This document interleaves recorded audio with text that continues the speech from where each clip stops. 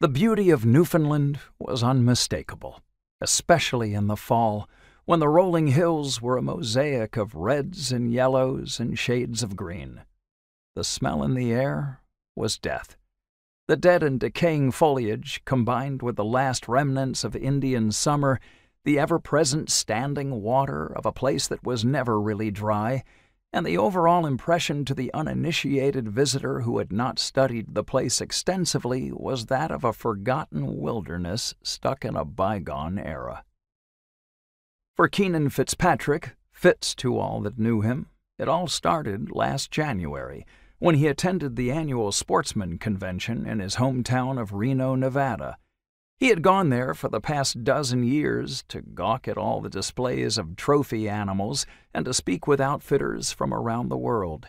He had often considered spending the money to go on safari in Africa or to fish the crystal clear streams of Patagonia, but his most exotic adventure prior to this year was a fishing trip on Vancouver Island a few years ago. As the sheriff of the second largest county in Nevada, it had been almost impossible for Fitz to take the time off. Something always came up. After he lost the election last November, that wasn't a problem. Yet he still had not shelled out the exorbitant fee for a moose hunt to Newfoundland. No, he had won this adventure in a raffle for five bucks, everything included from the plane ticket to the hunting license to the seven days of lodging and six days of one on one guiding for a trophy moose.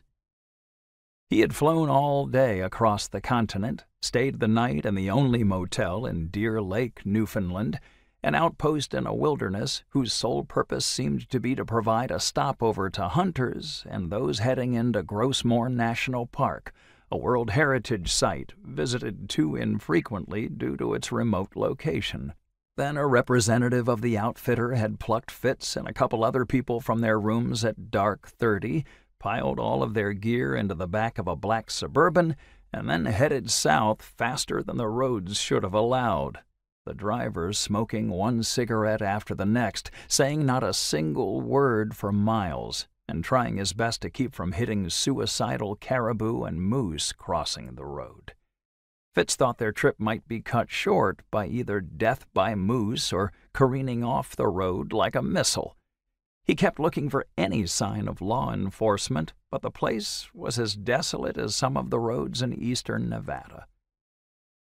The driver was an older man, probably in his mid fifties, like Fitz, but he had heard that the age of Newfies was hard to discern since many had lived hard lives.